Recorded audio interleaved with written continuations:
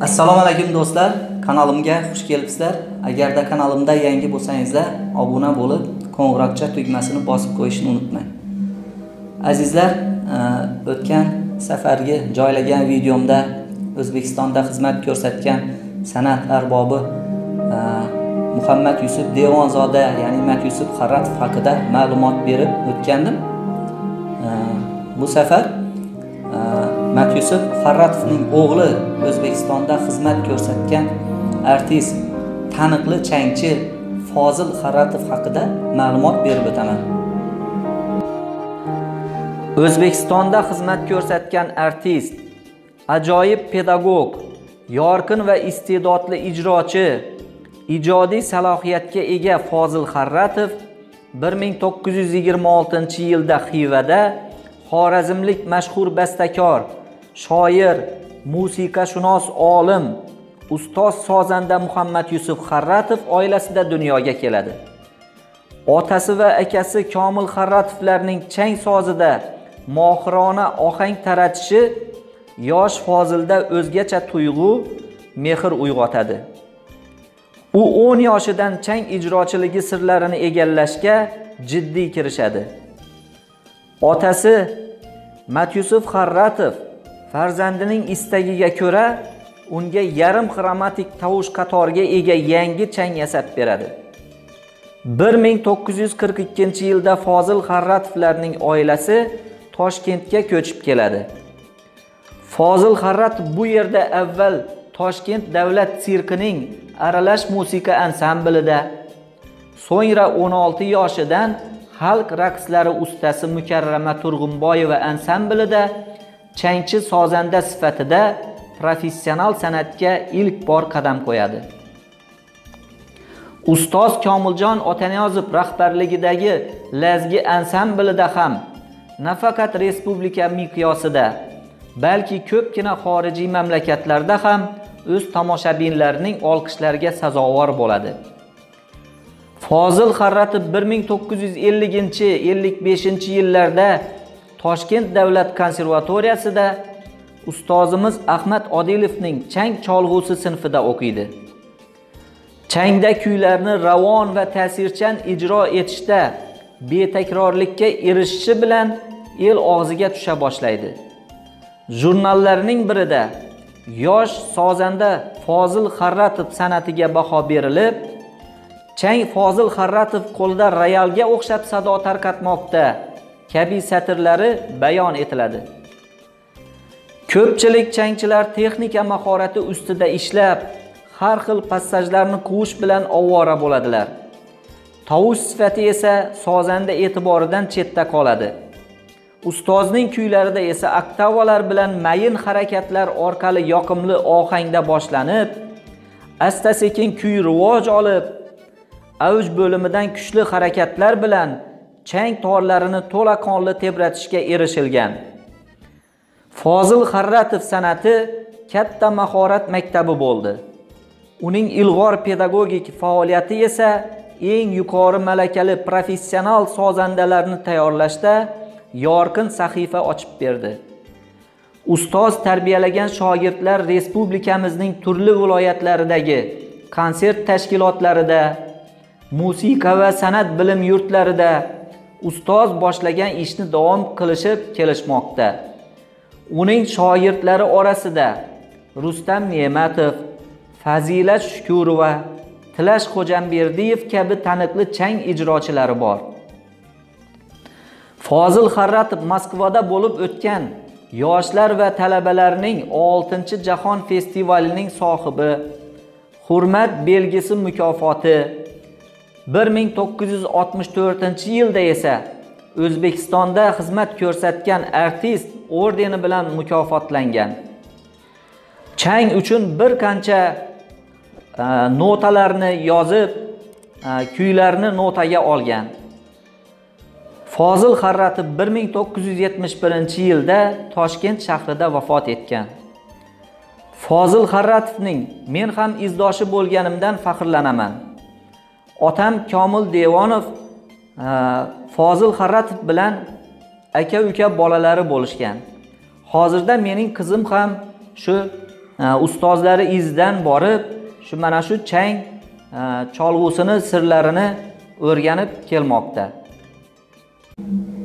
Mana azizlar fozil xaratov haqida ozmi ko'pmi ma'lumot ma'lumotga ega bo'ldingizlar. Endi fozil akani mana shu e, milliy musiqamizni rivojlantirish yo'lida ya'ni o'zlarimiz milliy musiqani e, mana shu chang cholg'usiga e, moslashtirib ya'ni qulaylashtirib bir qancha asarlarni notaga olgan ana shu asarlardan safda munojat bilan ufori munojatni mana qizim jonona ijrosida man mana tambur ijrosida ijro qilib beramiz marhamat. E, eshitasizlar kamchiliklariga oldindan uzr so'raymiz endi. E, jonli hozir bu yerda ovoz yozadigan nimalarimiz yo'q. E, shu jonli tarzda ijro qilib beramiz. Qani jonona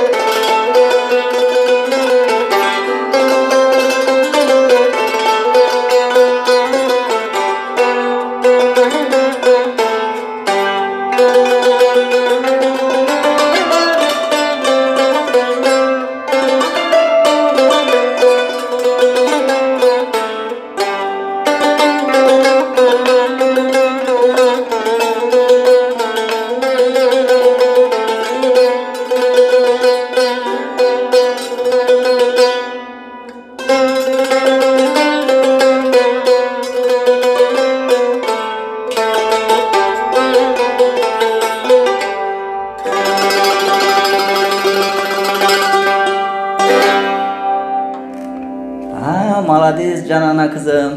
Mana azizlar. Fozil xarratovni ajoyib bir asarini tinglab bahramand bo'ldingizlar. Endi shu bilan e, bu video rolikim nihoyasiga yetdi. Yanaki videolarda xudo xohlasa yana ajoyib bir ustozlarimizni ajoyib bir e, mana respublikada xizmat ko'rsatgan xalq artisti e, doirachi qahramon dadayev boshqa boshqa e, ustozlarimizni bir e, hayotiy ijodlari bo'ladimi?